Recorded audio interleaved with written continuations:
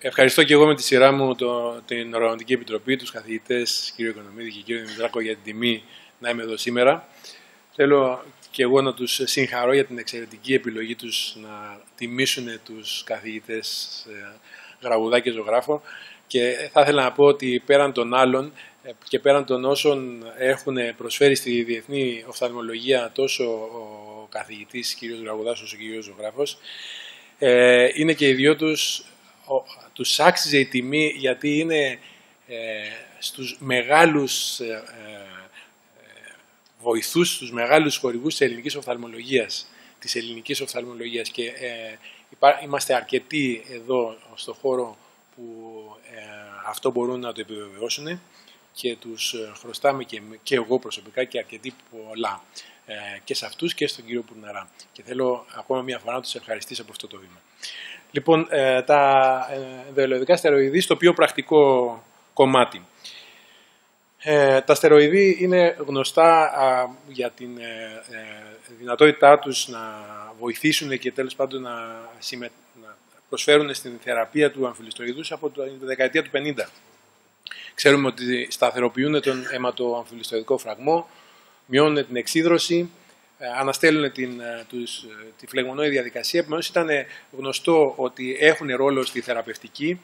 Ε, υπάρχει μια ιδιαιτερότητα που για τα στεροειδή είναι πολύ σημαντική και δεν πρέπει να την ξεχνάμε. Τα στεροειδή στην παραταμένη τους χορήγηση, σε συστηματική χορήγηση, έχουν προβλήματα.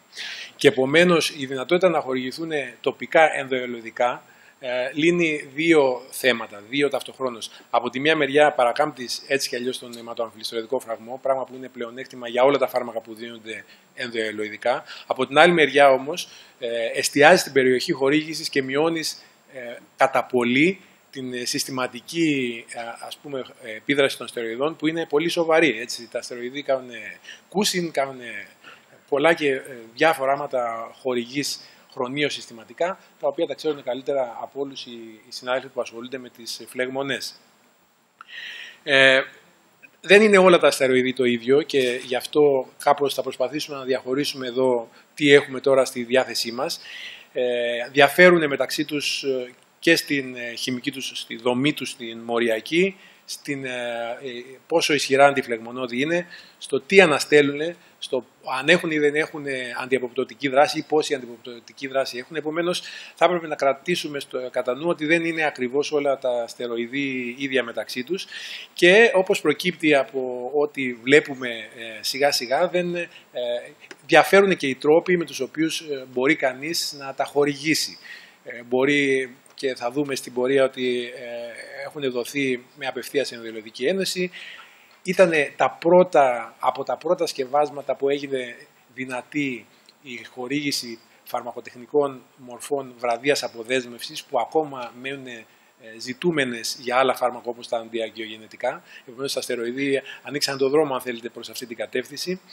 Ε, και ε, εν τέλει βέβαια σήμερα έχουμε και θα εστιάσουμε τη συζήτησή μας σε τρία φάρμακα. Έχουμε τρία διαθέσιμα, αν θέλετε, σκευάσματα για χρήση. Την τριαμψινολόνη, με τις διάφορες μορφές και ένα κόρτ και ένα λόγο όπως κυκλοφορεί. Ε, έχουμε το βιοαποδομήσιμο Ozurdex και έχουμε και το ένθεμα της ε, φλοκινολόνης, το Illuvien. Ε, όπως βλέπετε και τα τρία αυτά βρίσκονται στα, είναι εδώ κάτω χαμηλά, είναι οι πιο ισχυρές μορφές των σεροειδών ε, με πολύ ισχυρές τη δεξαμεθαζόνη και τη φλοκινολόνη ε, και η τριαμσινολόνη ισχυρή μεν, αλλά όχι όσο τα άλλα δύο. Ε, θα ξεκινήσουμε με τη τριαμσινολόνη. Η τριαμσινολόνη είναι το φάρμακο το οποίο, με το οποίο υπάρχει μεγαλύτερη εμπειρία γιατί χορηγείται εδώ και αρκετά χρόνια σαν out of uh, label ας πούμε χρήση.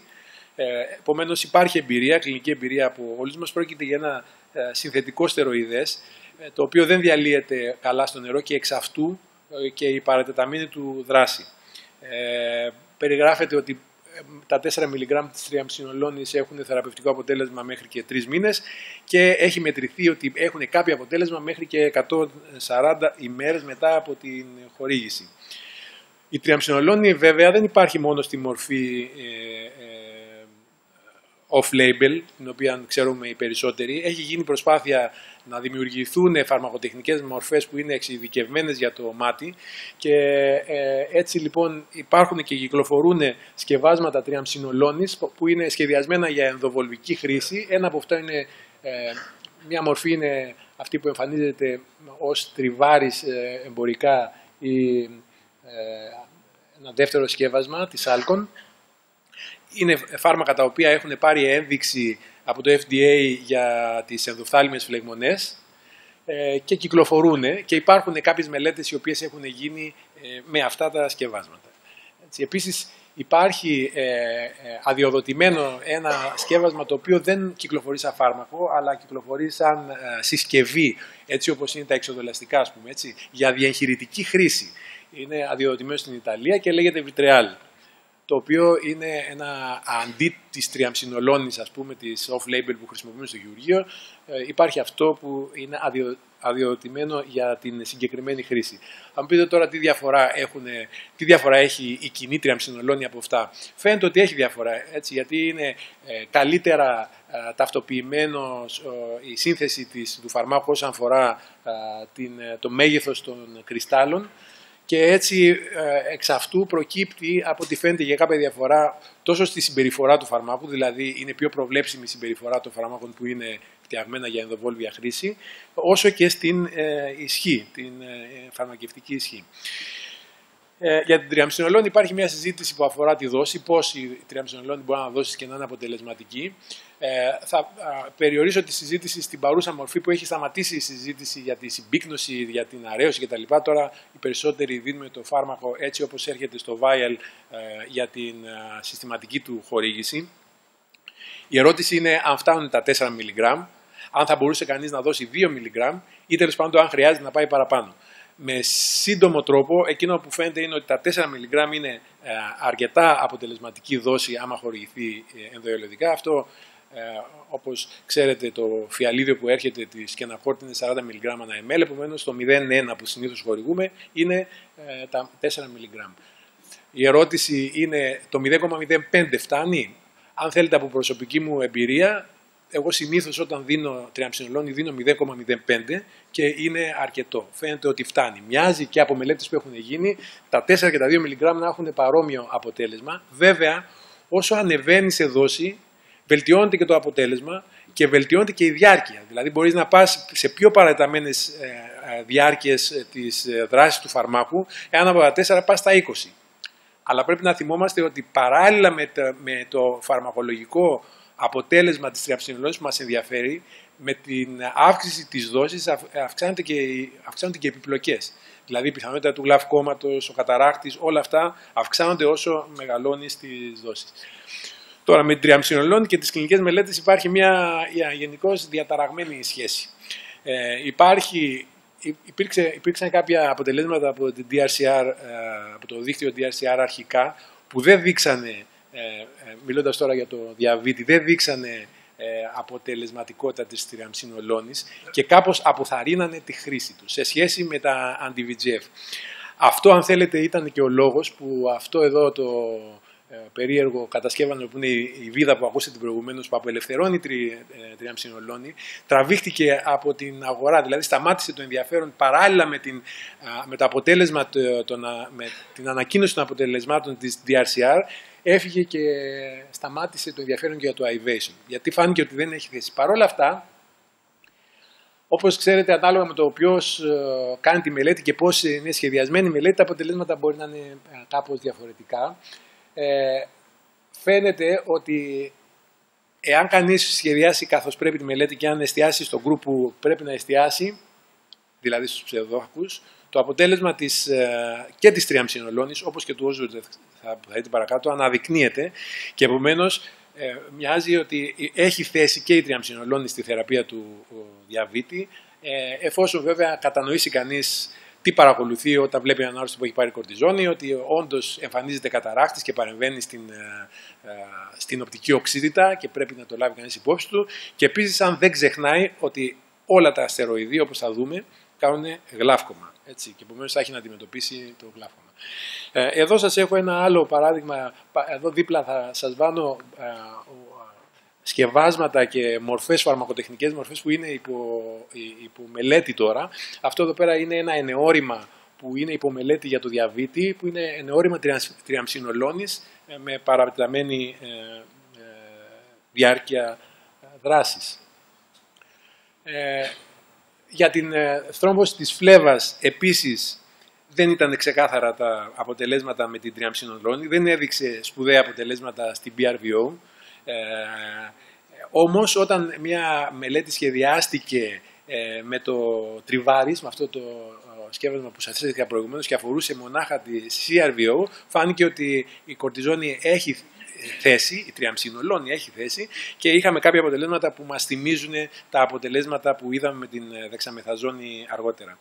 Ε, εδώ τώρα πάλι βλέπετε μια φαρμακοτεχνική μορφή που βρίσκεται σε αυτή τη φάση σε μελέτη, Verisome. Ε, πρόκειται για ε, ένα, ένα μόρφωμα το οποίο όταν χορηγηθεί μέσα στο ιαλοειδές φτιάχνει ένα σφαιρίδιο που κάθεται στο ιαλοειδές και παραμένει και δείτε εδώ αυτό είναι πολύ ενδιαφέρον, αποδεσμεύει τριαμψινολόνη. Αυτό εδώ πέρα είναι ένα γενναίο ε, εξάμεινο ε, και με καλά επίπεδα αρκετό διάστημα από αυτό και φτάνει για περίπου ένα χρόνο. Επομένως, αυτό με λίγα λόγια δείχνει ότι υπάρχει ενδιαφέρον από πολλούς στο να κατασκευαστούν φαρμακοτεχνικές μορφές και της τριαμψινολόνη και άλλων φαρμάκων που κρατάνε σε διάρκεια, με ό,τι προβλήματα έχει αυτό και θα τα δούμε λίγο καλύτερα ε, όταν μιλήσουμε για το Illuvian. Το δεύτερο σκεύασμα το οποίο έχει ε, ε, ενδιαφέρον και τέλος πάντων το βρήκε, είναι το πρώτο που βρήκε το δρόμο του για την ε, καθημερινή πράξη για την αγορά, αν θέλετε, είναι η δεξαμεθαζόνη. Η δεξαμεθαζόνη είναι ισχυρότερο στεροειδές από την τριαμψινολόνη, είναι πέντε φορές ισχυρότερη. Και επίσης είναι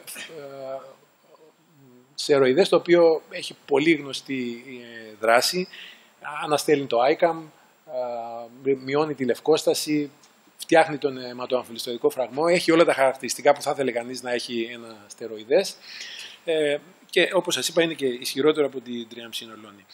Την ε, μεγάλη διαφορά για τη δεξαμεθαζόνη την έκανε η δυνατότητα που προέκυψε από, από ένα ένθεμα που χρησιμοποιεί ένα βιοαποδομήσιμο πολυμερές μέσα στο οποίο ενσωματώνεται η δεξαμεθαζόνη και απελευθερώνεται από εκεί σιγά σιγά για μεγάλο χρονικό διάστημα.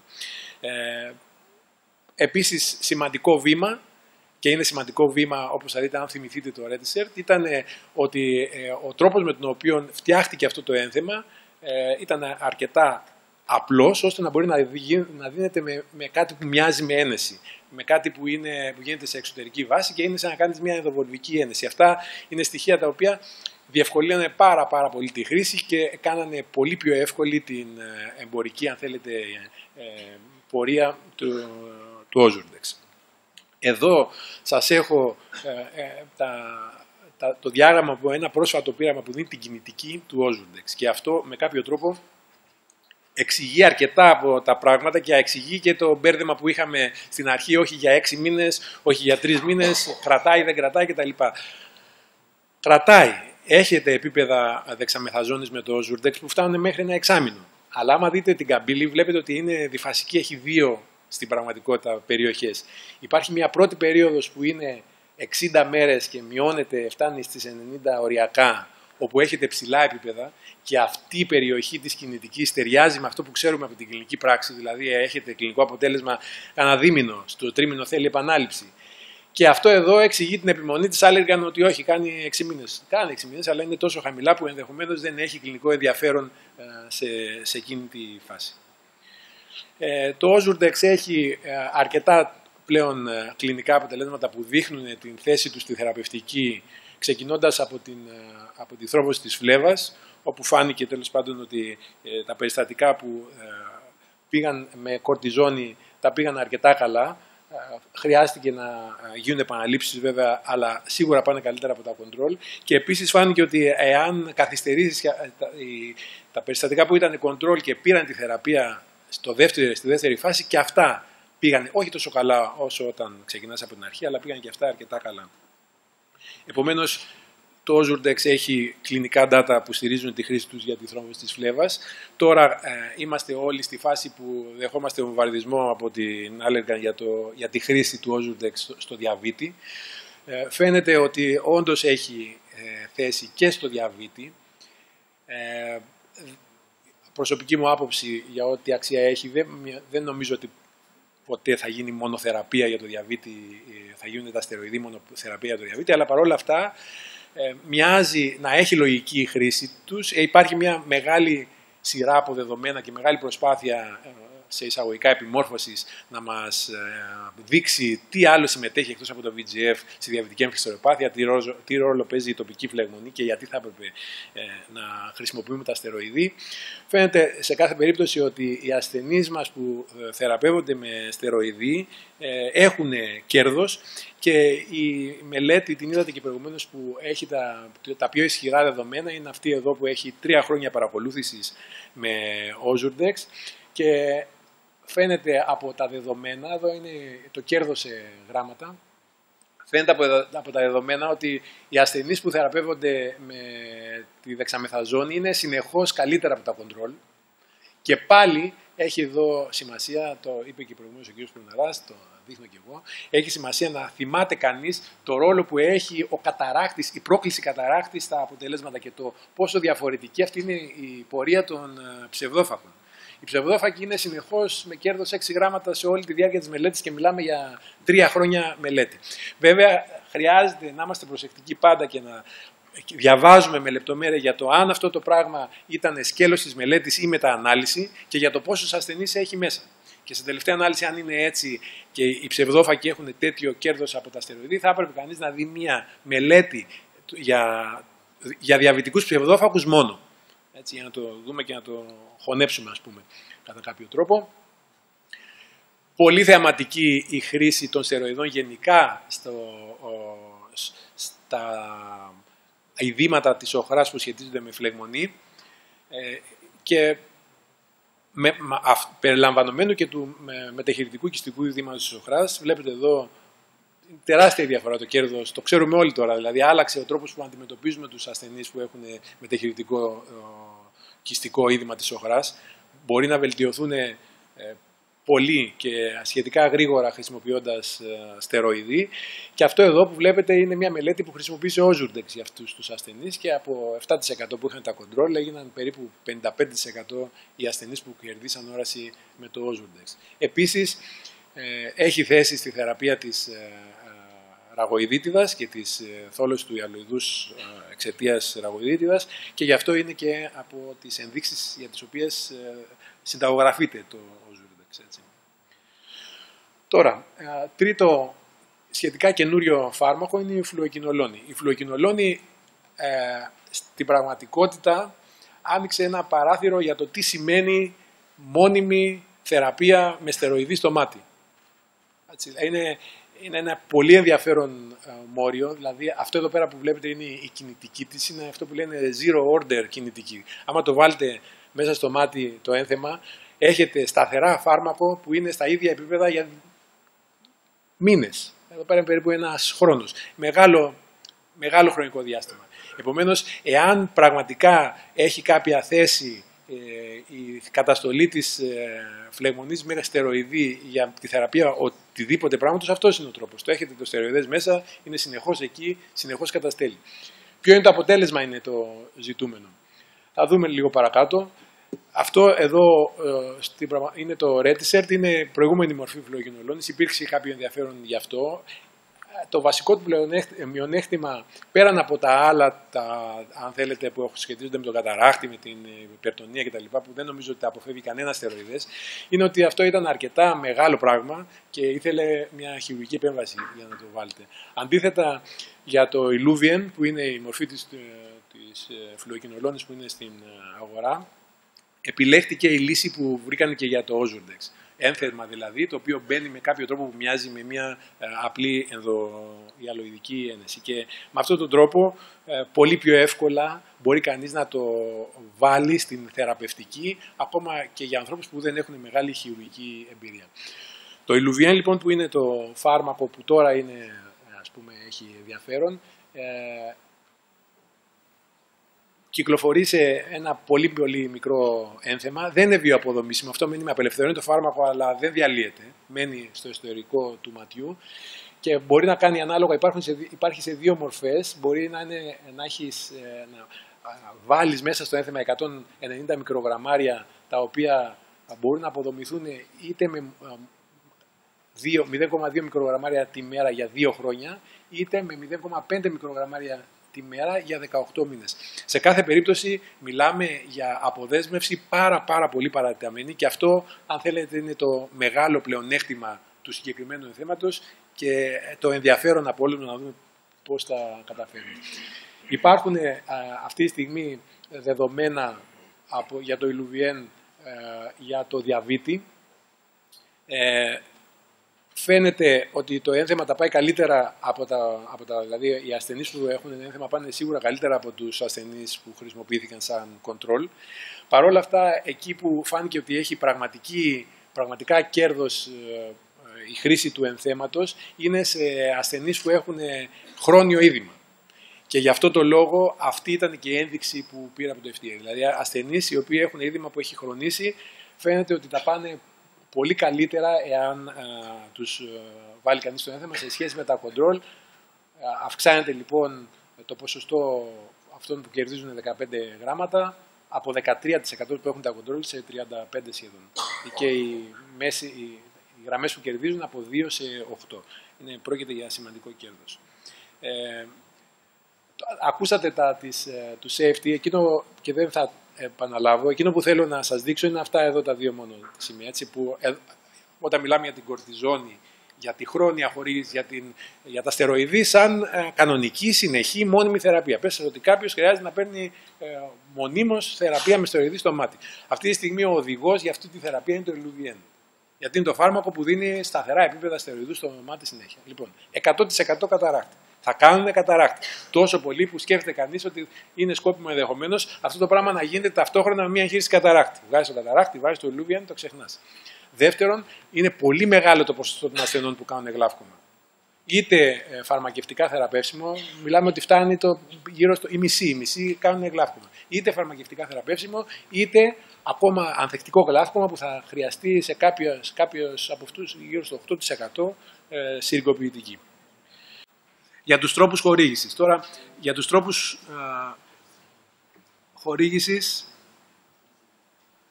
δεν έχω πολλά πράγματα που δεν ξέρετε να σας πω ε, και έτσι θα επιμείνω μονάχα σε αυτό που θεωρώ ότι έχει σημασία τι ιδιαιτερότητες έχει ε, η χορήγηση των τριών αυτών που ξέρουμε τώρα σκευασμάτων σε σχέση με την ε, συνήθι χορήγηση ενδοελοειδικών φαρμάκων όπως είναι το Λουτσέντης και το και το Ε, υπάρχουν καταρχάς, όπως ξέρετε και όπως ακούσατε και προηγουμένως, πάρα πολλοί τρόποι οι οποίοι χρησιμοποιούνται ή δοκιμάζονται για ενδοελωδική χορήγηση.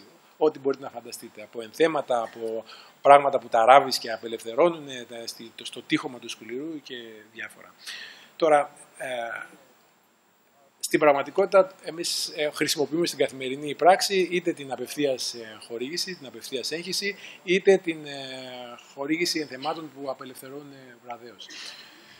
Για την απευθείας χορήγηση, το φάρμακο που χρησιμοποιούμε είναι τριαμψινολόνη. Τι, τι λοιπόν διαφορά έχει η τριαμψινολόνη με τα άλλα φάρμακα, σε σχέση με τα άλλα φάρμακα όταν τα χορηγούμε ενδοελωδικά τα βασικά προβλήματα που υπάρχουν αυτή τη στιγμή με την τριαμψινολόνη και μιλώ με την τριαμψινολόνη όταν τη, όταν τη χορηγούμε off-label είναι αυτά που γράφω εδώ. Πρώτον, χρειάζεται να μοιράσεις το φάρμακο σε πολλούς αρρώστου. Επομένως, έχεις ένα μπουκαλάκι, το τρυπάς και το ξανατρυπάς με ό,τι προβλήματα αυτό έχει για την ασφάλεια του ασθενούς.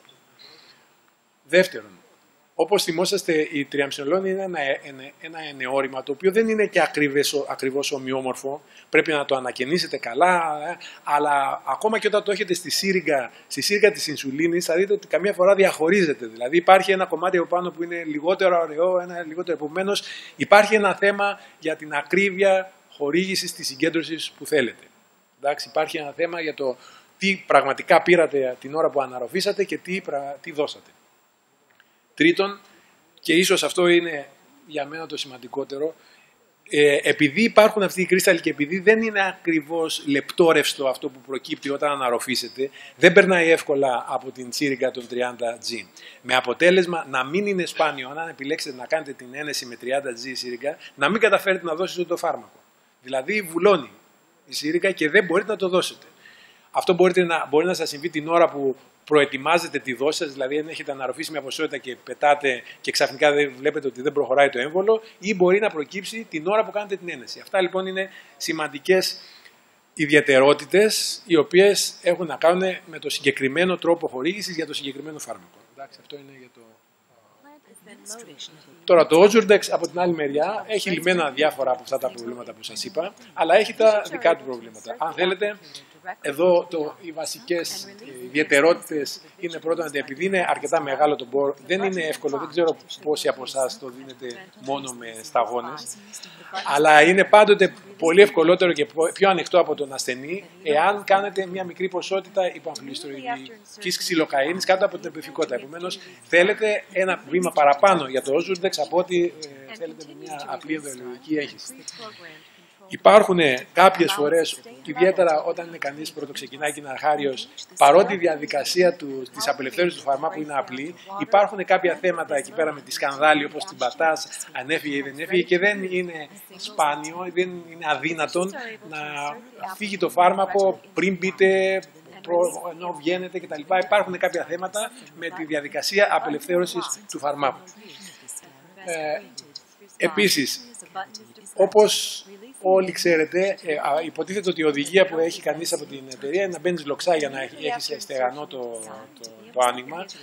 Στη διαδικασία που τραβάς προς τα πίσω, δεν είναι σπάνιο να έχεις αντίσταση και να έχεις αυτό που λέμε ντράγκινα, κολλάει, να μην θέλει να βγει, ιδιαίτερα αν δεν ακολουθείς ακριβώς την κατεύθυνση που μπήκες. Και αυτό δεν είναι σπουδαίο, ιδιαίτερα αν είναι κανείς έμπειρος χρήστης, ας πούμε, αλλά μπορεί να είναι πρόβλημα που θα δημιουργήσει μεγάλη έτσι, αναστάτωση κάποιον που το ξεκινάει.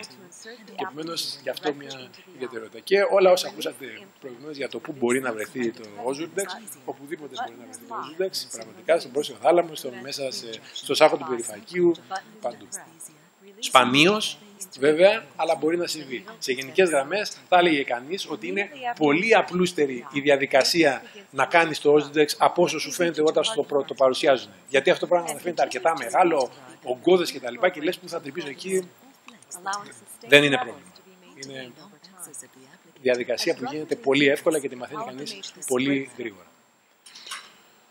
Τώρα το Λιουβιέν είναι παρόμοιο με το Ozurdex στη λογική του. Έχει μια, κάτι επιπλέον πριν πρέπει να φορτώσεις ε, το ένθεμα, το σπρώχνεις. Δεν ξέρω αν κάποιοι από εσάς, ποιοι από εσάς έχετε, είχατε την ευκαιρία μέχρι τώρα να χρησιμοποιήσετε Λιουβιέν. Εγώ δεν το έχω χρησιμοποιήσει, το έχω δει μόνο να περιγράφεται. Αλλά από ό,τι φαίνεται η διαδικασία και τα βίντεο που κυκλοφορούν από την εταιρεία ε, πρόκειται για διαδικασία η οποία είναι ταυτόσιμη με το Ozurdex. Εκείνο που διαφέρει είναι το πόσο μένει στο, το ένθεμα στο εσωτερικό του ματιού και το γεγονός ότι δεν διαποδομείται. Δηλαδή δεν ε, μένει συνέχεια αυτό. Αδειάζει από το φάρμακο, αλλά μένει μέσα στο μάτι. Πράγμα όχι και τόσο σπουδαίο, βέβαια, μα λάβει κανείς υπόψη του ότι υπάρχει μια μελέτη που λέει ότι υπάρχει μάτι με 12 ενδοφακούς μέσα. 13. Το Redshirt θα το περάσω γρήγορα. Το βασικό του μειονέκτημα ήταν ε, ε, πέραν από το ότι ε, δημιουργήθηκε μεγάλη έτσι, ανησυχία γιατί ήταν πολύ μεγάλο το ποσοστό των ασθενών που κατέληξε να χρειάζεται συρρικοποιητική και τέλος πάντων υπήρχαν τέτοια θέματα ασφάλειας. Το βασικό του θέμα βέβαια ήταν αυτό που βλέπετε. Δηλαδή θέλει ένα χειρουργείο για να το βάλεις στο Redshirt πρέπει να κάνεις μια μικροεπέμβαση. Και αυτό με κάποιο τρόπο το αφήνει πολύ πίσω σε σύγκριση με τα υπάρχοντα θέματα σαν το Ozurdex και το Illuvian. Τώρα, όπως είπαμε και πριν, υπάρχουν άπειρα, άπειροι τρόποι που μπορεί να σκεφτεί και να φανταστεί κανείς για να δώσει και θα κλείσω μόνο ε, θυμίζοντας και εγώ ότι η τριαμψινολόνη για την ώρα είναι από τα φάρμακα τα οποία πολύ συχνά τα χρησιμοποιούμε διαγχειρητικά ε, είτε στην off-label μορφή, είτε στη μορφή όπως είπα που έχει πάρει έγκριση και αρκετά συχνά μας διευκολύνει. Σίγουρα διευκολύνει αρκετά κάποιους από τους συναδέλφους του προστίου μημορίου που ξαφνικά βρήκαν ένα πολύ εύκολο τρόπο για να βλέπουν αν έχουν ή δεν έχουν τελικά οι αλοειδές, αν είναι υπολοιπόμενοι οι αλοειδές στο θάλαμο. Είναι πολύ βολικός τρόπος ε, αυτό, αλλά και στο πίστιο μνημόριο για τα πλήν της επιφάνειας, όπως έδειξε ο κύριος Πουρναράς. Σας ευχαριστώ πολύ.